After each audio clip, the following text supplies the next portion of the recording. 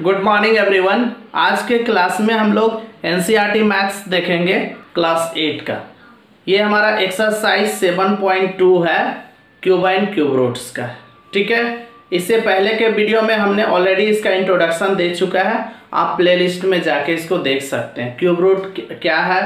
इसके बारे में हमने एक्सप्लेन किया है। ठीक? आज हम लोग देखेंगे कि प्राइम फैक्टराइजेशन मेथड से क्यूब रूट कैसे निकाला जाता है। ठीक है? देखिए क्या है so find the cube root of each of the following numbers using prime factorisation method कौन सा मेथड से?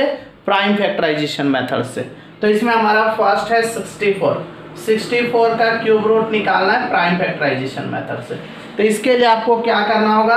पहले 64 को फैक्टराइज करना होगा। ठीक? मतलब इसको फैक्टराइज कीजिए। देखिए कितना से? ये टू का टेबल से टू थ्री जा सिक्स टू टू जा फोर फिर टू का टेबल में सिक्सटीन बार में होगा, फिर टू का टेबल में एट बार में टू का टेबल में फोर बार में टू का टेबल में टू बार देखिए तो सिक्सटी फोर को पहले हम लोग इस तरह से फैक्टराइज करेंगे। उसके बाद हम लोग क्या करेंगे? सिक्सटी फोर को हम लोग क्या लिख सकते हैं? Two into two into two into two into two into two देखिए two two two two two two two कितना बार था?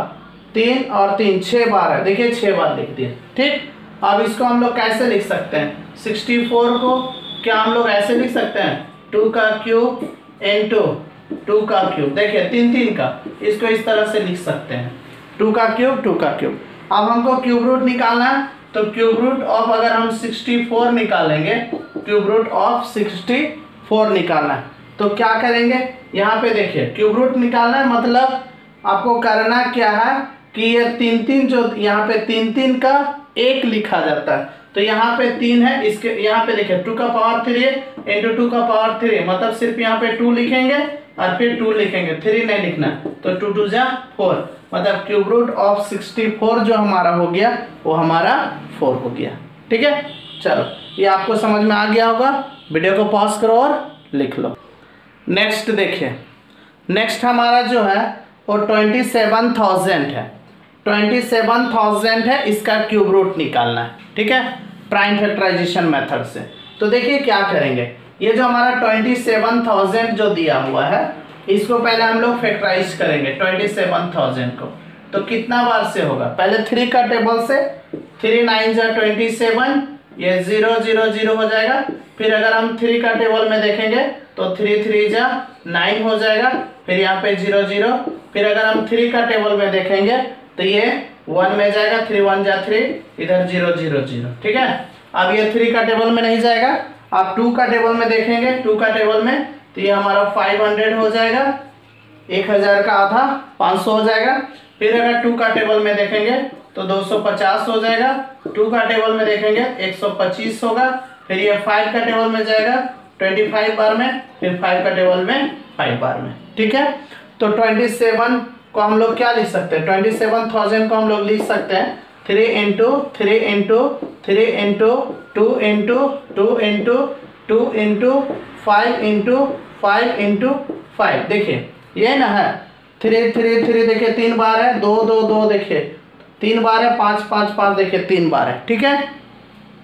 तो इसको हम लोग क्या लिखेंगे? थ्री का क्यूब लिखेंगे, फिर टू का क्यूब लिखेंगे, फिर फाइव का क्यूब देखो, ये तीन तीन, ये तीन तीन को ये किया जाता है। क्यूब रूट में तीन तीन को मिलाया जाता है। तीन तीन तीन, देखिए, तीन बार है तो तीन का पावर तीन हो गया। दो दो दो, देखिए, तीन बार है, दो का पावर तीन हो गया। पाँच पाँच, देखिए, तीन बार है, पाँच का पावर तीन हो गया। ठीक है?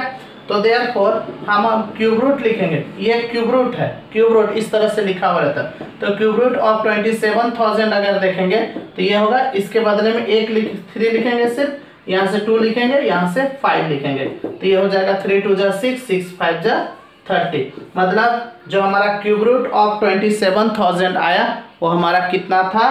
Cube root of twenty seven thousand जो हमारा है, वो है थर्टी है। ठीक है? इस तरह से आप किसी भी तरह से कोई भी अगर क्वेश्चन अगर दिया हुआ रहेगा तो आप इसको प्राइम फैक्टराइजेशन मेथड से निकाल सकते हैं। ठीक है? ये बहुत ही आसान मेथड था। उम्मीद करते हैं आप लोगों को समझ में आ गया होगा। वीडियो को पॉज करो और लिख लो। ठीक है? और बहुत जल्दी मिलेंगे नेक्स्ट वीडियो में, ठीक है? अगर वीडियो आपको अच्छा लगता है तो इस चैनल को सब्सक्राइब कर लें और अपने दोस्तों के बीच में शेयर करें, ठीक है? और आप नेक्स्ट बार में किस चैप्टर का, किस चैप्टर का वीडियो देखना चाहते हैं, इसके लिए आप हमें कमेंट में ज़रूर बताएँगे, ठीक है? बहुत जल्दी मिलेंगे नेक्स्ट वीडियो में, तब तक के लिए जय हिंद, जय भारत।